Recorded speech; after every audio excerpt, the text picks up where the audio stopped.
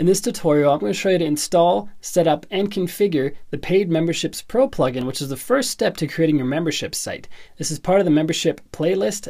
Details to that are down below, so watch this tutorial, then check out the rest of the playlist so you can set up your membership site completely in full. And we're getting started on the setup config tutorial right now. Hey, what's up guys? Welcome back to another tutorial. This is Bjorn from WP Learning Lab, where we help you get better at WordPress so you can earn more for yourself, for your clients, and for your business. If you haven't done so yet, click subscribe, then click the bell notification icon so you don't miss anything. And with that out of the way, let's set up Paid Memberships Pro. I'll see in the screen capture. On the left-hand side menu at the very bottom, we have a new item called Memberships, which is where all the settings are for this plugin. If we go over first to our page settings, Membership levels we'll get to in a minute, but first the page settings. I know you're probably excited to get membership levels going, but let's get the foundations done first. Specific pages the plugin needs to run properly. Account page, billing info page, cancel checkout, confirmation, invoice, and levels page. Now we can either create these pages and add this short code into them, and then come back here and choose the page from the dropdown, or we click this fancy link here and let the plugin make the pages for us which I like to do. So I'm just going to click on that. And now we have all these pages created and automatically added where they need to go. Then click on any one of these to view them. There isn't much going on right now just because there isn't. We just created the pages just now. We click on Save Settings to save all those in there. Next, let's check the email tab. The payment gateway and SSL we'll get to in a minute. Just like the membership levels, we're not quite at that point yet we're accepting payments. So first, let's get the foundation done. Let's go to email, and this is where we set the emails that are sent out. So what's important to note is the email address and name you put in here is now globally for your WordPress site. So if you, if you have contact forms that send things out or MailPoet or something, it's going to show as coming from these two. If you don't want that to happen, if you want these to be custom just for your membership site and for nothing else, you have to check this box. So if this box is checked, these settings appear only for the membership plugin's emails. If you uncheck this box, these settings appear for all emails sent from your site. So decide whether you want that box checked or not. Then we decide which emails you as the admin want to get. Do you want email when someone checks out? Do you want email when there's admin changes to users' membership? Email of a cancellation? Email of a billing update? Email of new users? It's recommended to leave this one unchecked, but you can check it if you want. Either way, these four are the ones you really need because at first when you're doing a membership site, you're going to want to get all the information you can. And then as you run it over time, you're going to see which information is more important than other information. And then maybe you turn off certain notifications that you don't need. At first, I would check all of these and then click on Save Settings. Next, we head over to the Advanced tab.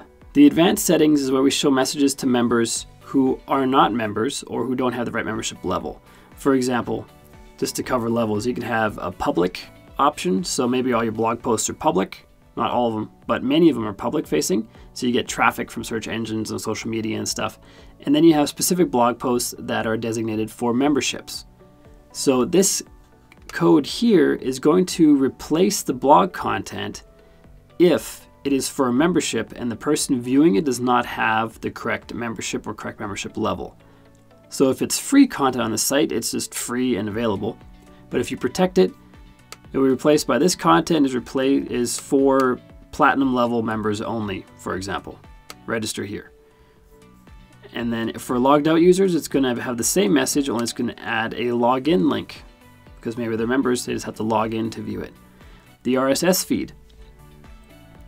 The RSS feed contains all posts that you publish to your site. So if you have posts that are membership specific, those will show up in your RSS feed. If you don't want that to happen,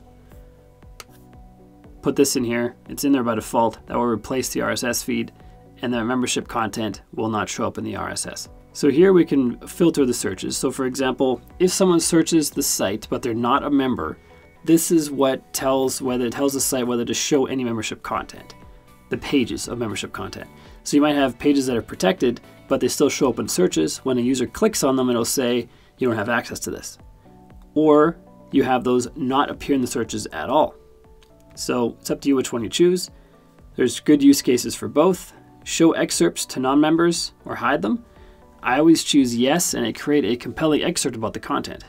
If you don't have this, the content is replaced by this. That's all they see on the page. They'll see the title and they'll see this message with no content. Whereas if you have the excerpt with a strong call to action and written persuasively, it might get them to sign up as a member, or at least a free member if you have a free membership level. So always have that on yes. Hide ads from members. It's up to you. It's, it's good for certain use cases, but you could have, for example, you could have an ad supported website and your membership level could be all they do is pay three bucks a month or whatever you want. And the only benefit they have is there's no ads on the site. So you'd want to hide ads from all members in that case. And to hide them, you'd wrap this around the AdSense code and the Easy AdSense plugin and maybe some others that are replaced by this dot dot dot will hide automatically for members who are signed in.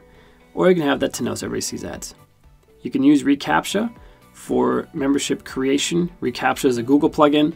I've got a tutorial for that on my channel, so check that out.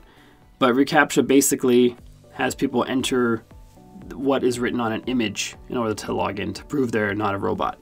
And required terms of service on signups, I usually choose yes, but we don't have a terms of service page yet, and that's not a page that's auto created. So I'm just going to copy this text. I'm just going to quickly create that page. These are the terms. Publish that page. Obviously you want to have real terms of service here, not just these are the terms. But for my purposes in this demo, that'll be enough. Now we go back down here, we find that page under T, terms of service. So when they, before they sign up, they're going to have to agree to the terms that are listed on this page. Now I'll show you what that looks like later on in this tutorial.